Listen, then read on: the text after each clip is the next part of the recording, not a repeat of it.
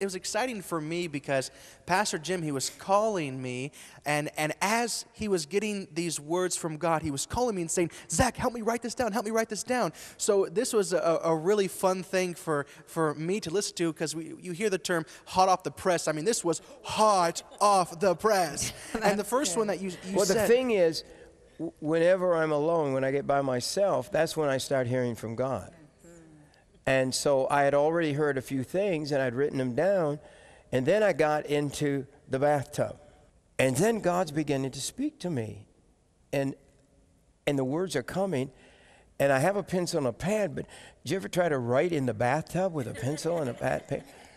The pad melts, you know, it gets wet, you know, it just, it just doesn't work. And so uh, I had my phone there, which is always this my cell phone.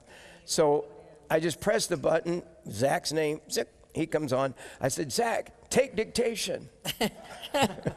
I said, God's speaking to me, and I got want to write it now. One thing I've learned is now, and that's the word I want to give you again for this year is now. It, you know, we used to win wars.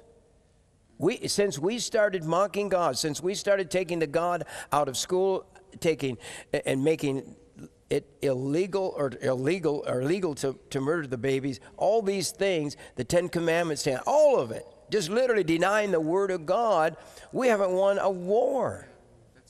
And the, I think the first step was abortion.